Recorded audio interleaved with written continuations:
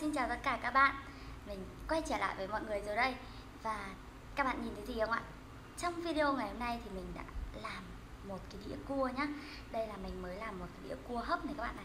Đó, video ngày hôm nay thì mình sẽ ăn cua các bạn nhá. Các bạn nhìn này Mình chẳng biết là con cua này nó có cái gì luôn ý. Đây này các bạn. Nó có cái gì này? Đó, nó có cái gì đây này? Mình không biết là có cái gì luôn. Có con thì có, có con thì không các bạn ạ. Này, con này thì không có. Con này thì không có mà con đấy lại có các bạn ạ đấy mình không biết là nó có cái gì luôn ý. Này các bạn. Gì luôn? Đấy nên là à, hôm nay thì mình sẽ làm video này là ăn cua. Cua này thì mình hấp với xả à, và hôm nay thì mình sẽ chấm với tương ớt nhá. Hải sản mình ăn hải sản thì thường là mình sẽ chấm với tương ớt. À, đó. Rồi giờ thì à, mình sẽ bắt đầu ăn đây. Các bạn ơi cua này thì thực ra nó cũng không to lắm đâu. Cua này thì nó cũng không to lắm các bạn ạ. Các bạn nhìn này. Nó bé bé thôi. Đấy đây là gọi là cua đá cua đá cua đá. Wow, wow. cũng khá là lâu rồi mình không được ăn cua.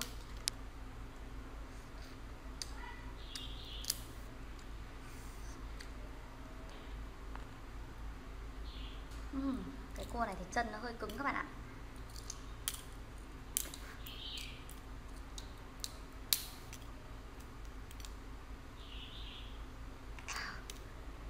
thịt đầu tiên rồi các bạn ơi mời các bạn nhé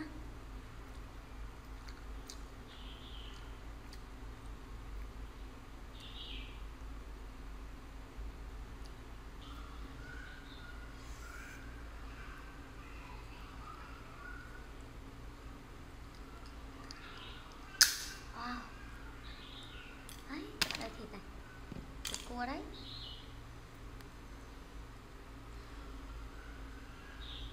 rất là khó ăn luôn Đây các bạn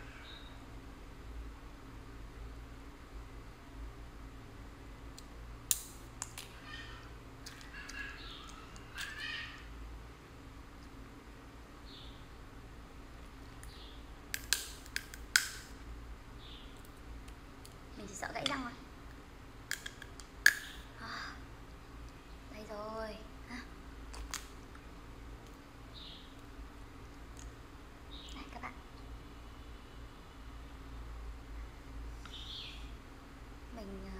ớt cho mình mình chấm hơi nhiều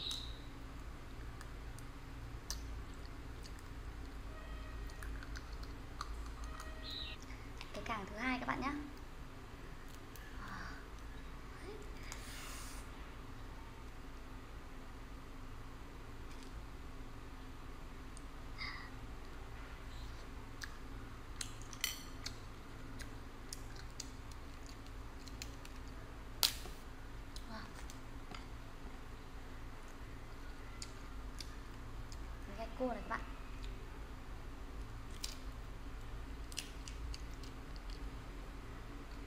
ในกระกางมาแล้ว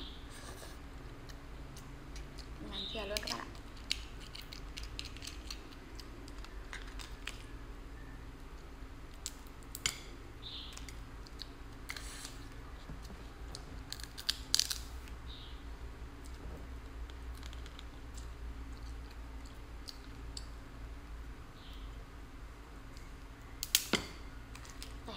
phía trong này thì rất nhiều thịt này các bạn này.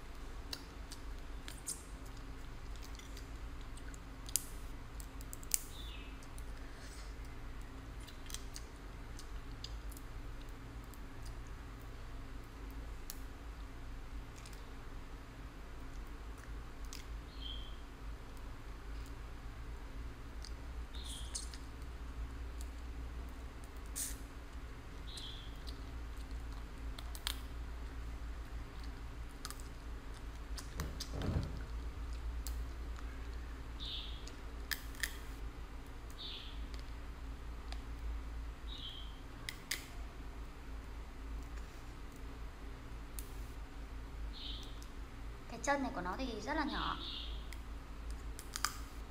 Cái chân của nó rất là nhỏ các bạn ạ. Cái chân của nó này thì chỉ có xay ra nấu canh thôi. Cái chân của nó thì cực kỳ nhỏ luôn ấy, nên là rất là khó ăn. Cái thịt ở cái chân nó bé xíu ấy. Đấy là chỉ ăn được cái người của nó thôi các bạn ạ.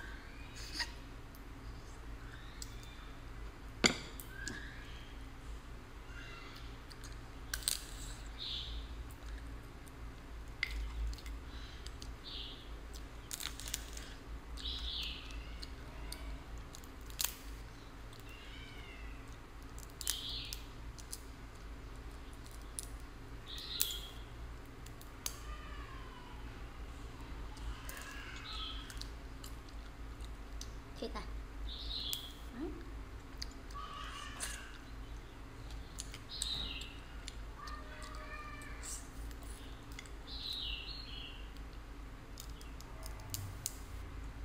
Đấy, thịt đấy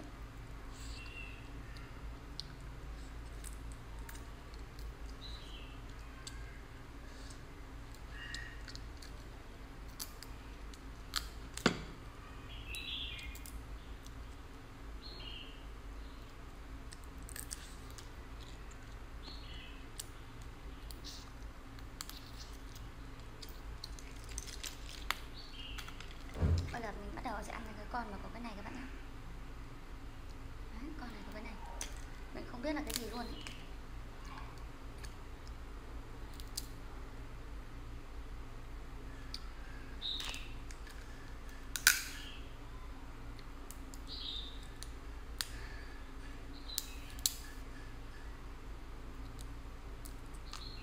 mình làm cái chân này bị vỡ mất rồi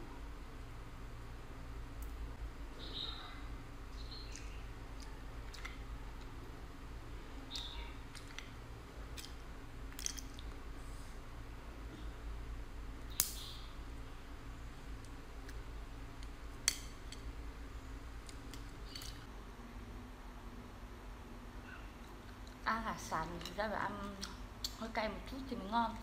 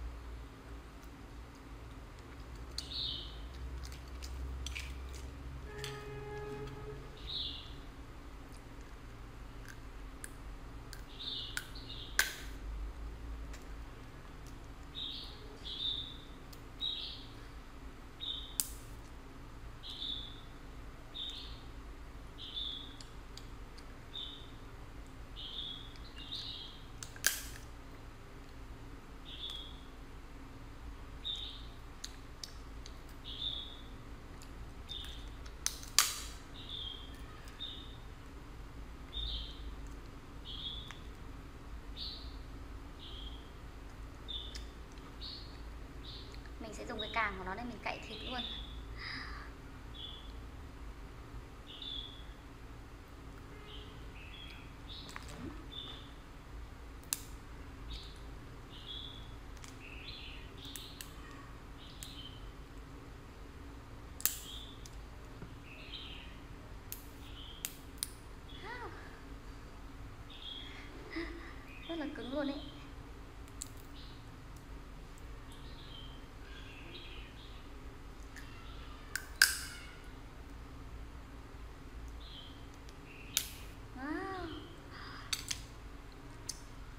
哪个？哪个？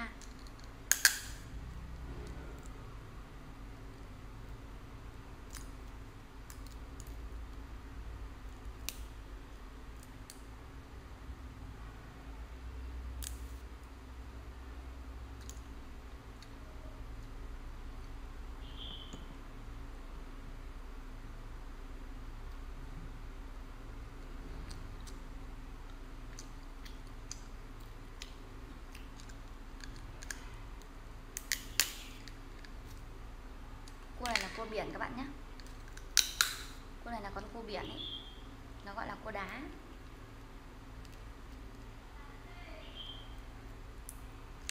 Cái cua này thì nó cũng rẻ thôi các bạn ạ.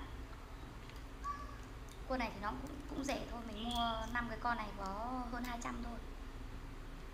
Đấy. Cua này nó cũng rẻ mà.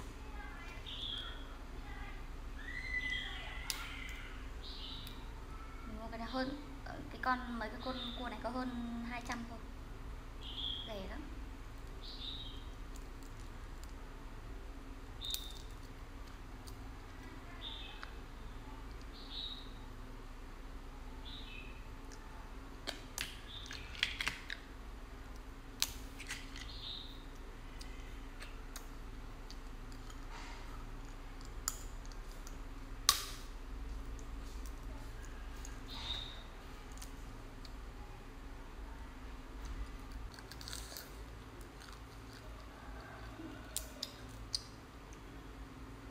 ngon quá